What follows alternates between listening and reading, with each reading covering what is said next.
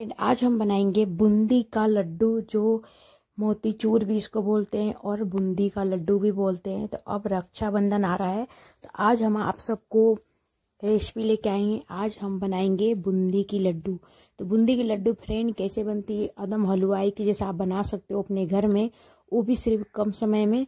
तो video miss ना करें, वीडियो शुरू से पूरा देखें और वीडियो को लास्ट तक देखें, वीडियो छोड़े ना।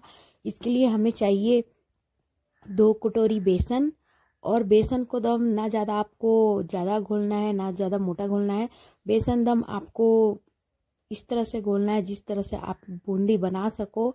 और बूंदी बनाने के लिए बेसन में कुछ भी नहीं डालते फ्रेंड्स, सिर्फ़ बेसन और पानी रहता है। बस बेसन, आप जो बूंदी है, आप कोई भी चलनी जो होती है झन्ना होता है, उससे आप बूंदी निकाल सकते हो। और बूंद, ये जो लड्डू है, एक बार बनाए खाओगे, लगेगा ही नहीं कि आपने घर में बनाया इतना टेस्टी लड्डू बनती है। तो अगर आपको नया नया वीडियो देखना है तो हमारे वीडियो को लाइक, शेयर और फॉलो ज़रूर करें। और अगर आपको नई नई वीडियो देखना है तो बेल आइकन ज़रूर दबाइए, कि आपको हर नई नई रेसिपी का विकेशन मिल सके। अगर फ्रेंड, आपको हर रोज़ नया नया स्वीट का वीडियो देखना है तो वीडियो हमारा मिस ना करें। वीडियो रोज़ देखें और हमारे वीडियो को आप लाइक से बेलम आइकम नहीं दबाएँ तो बेलम आइकम भी दबा लें कि आपको हर नई नई रेसिपी का विकेशन तुरंत मिल सके और हमारा वीडियो खोल के दे सकते हो। तो इस, ये लड्डू बनाने के लिए सिर्फ़ दो चीज़ की ज़रूरत पड़ती है फ्रेंड और बहुत ये लड्डू, क्योंकि रक्षाबंधन आ रहा है तो आप लड्डू अपने घर में ही बना सकते हो, और बहुत कम समय में एक कटोरी बेसन में बहुत सारे लड्डू बन जाती है। तो अगर सोचो, अगर आप बाज़ार से ला रहे हो तो कितनी महँगी आती है।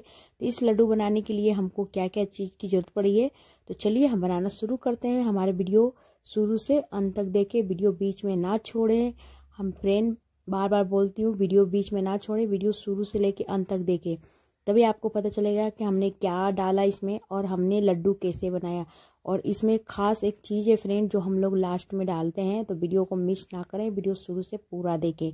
तो चलिए हम बनाना शुरू करते हैं लड्डू। लड्डू बनाने के लिए हमको बेसन की ज़रूरत पड़ेगी, उसके बाद हमने पानी की ज़रूरत पड़ेगी तो चलिए बनाना शुरू करते हैं।